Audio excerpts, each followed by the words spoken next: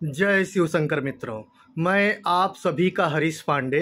आज आप मकर राशि वालों के लिए एक नई वीडियो लेकर के आया हूँ। और ये वीडियो है भौतिक सुख समृद्धि के कारक शुक्र के राशि परिवर्तन के संदर्भ में।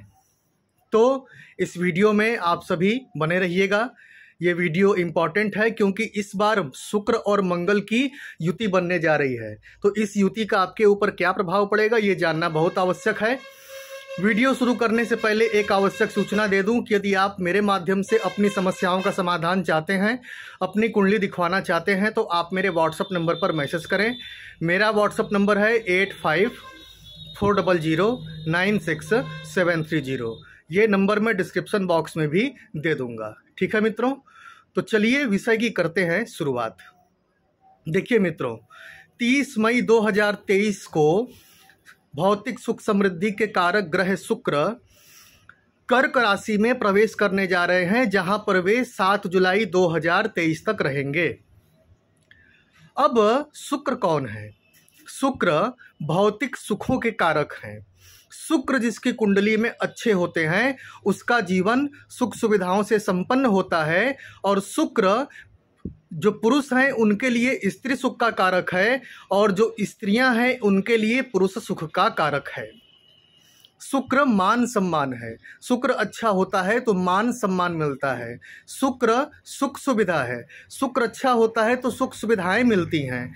इसके विपरीत अगर शुक्र खराब हो जाए तो न स्त्री सुख मिलता है, न स्त्रियों को पुरुष सुख मिलता है। जीवन में सुख सुविधाओं के लिए बहुत मेहनत, बहुत प्रयास करना पड़ता है। यौन रोग हो जाते हैं, गुप्त रोग हो जाते हैं और उसे व्यक्ति झेलता रहता है शुक्र के खराब होने के फलस्वरूप। या शुक्र पर किसी पाप ग्रह की दृष्टि पड़े तो उसके फलस्वरूप। तो शुक्र का इतना महत्व है। अब क्या है कि शुक्र जैसे ही कर्क राशि में प्रवेश करेंगे, वैसे ही वहाँ मौजूद मंगल के साथ इनकी युति हो जाएगी। अब शुक्र सुख सुविधा रोमांस है और मंगल क्या है? ऊर्जा है। तो इसका मतलब सुख सुविधा और रोमांस को मंगल की ऊर्जा मिल गई। तो इस मामले में तो आप मकर राशि वालों को एडवांटेज मिलने वाला है, इसमें कोई डाउट नहीं है। और क्या क्या और परिणाम मिलने वाले हैं, इस पर भी हम चर्चा करना शुरू कर रहे हैं।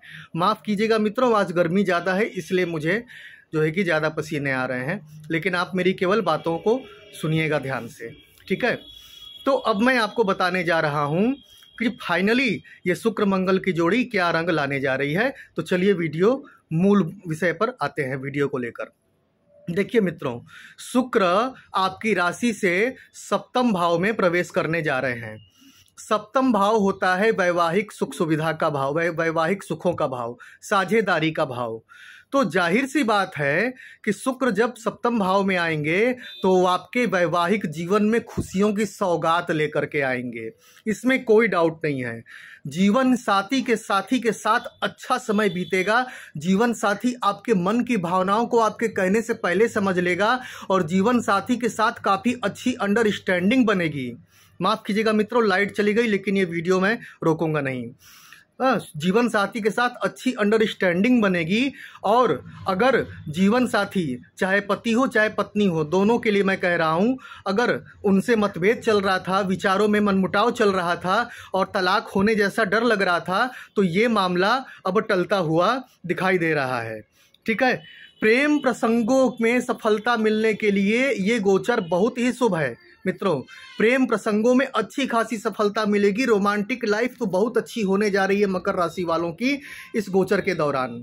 रोमांटिक लाइफ अच्छी होगी और आप या तो प्रेमी जोड़े मिलकर के शादी कर लेंगे, या तो अगर आपके फ्रेंडशिप की शुरुआत हुई है लव अफेयर की शुरुआत हुई है तो उसमें आपको सफलता मिलती हुई दिख रही है। आपका प्यार परवान चढ़ेगा।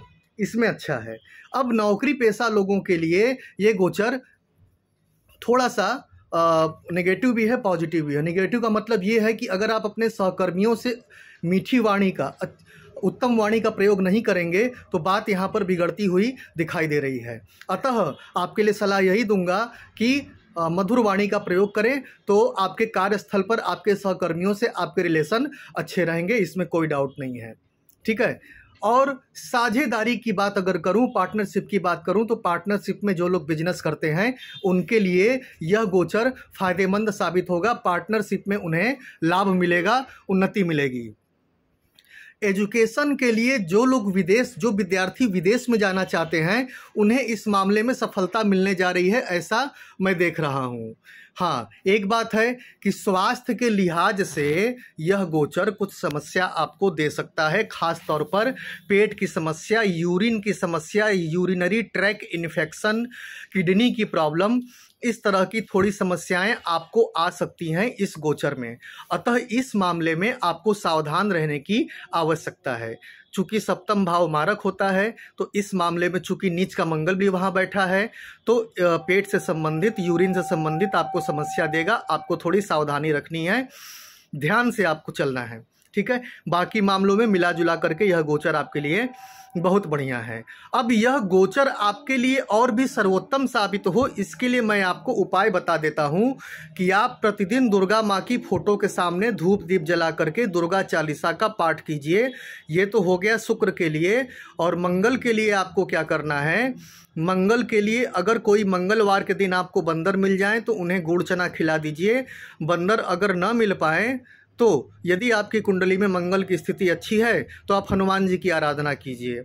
ठीक है? इसमें कोई डाउट नहीं है। हनुमान जी की आराधना के कई तरीके हैं। सुंदरकांड का पाठ बजरंग बाण का पाठ हनुमान अष्टक का पाठ, इस प्रकार से आप कीजिए, आपको लाभ मिलेगा। ठीक है? और शुक्र मंगल की ये जोड़ी आपको सफलता के शिखर पर ले जाएगी। तो आप निश्चिंत रहिए। ये गोचर आपके लिए बढ़िया है मित्रों। और जाते जाते एक बार फिर से कह दूँ कि यदि आप मेरे माध्यम से अपनी समस्याओं का समाधान चाहते हैं, अपनी कुंडली दिखवाना चाहते हैं तो आप मेरे व्हाट्सअप नंबर पर मैसेज करें। मेरा व्हाट्सअप नंबर है eight five four double zero nine six seven three zero ये नंबर मैं डिस्क्रिप्शन बॉक्स में भी दे दूँगा। डायरेक्ट कॉल न करें, मैसेज करें मित्रों। तो मैं चलता हूँ मित्रों। जय शिव शंकर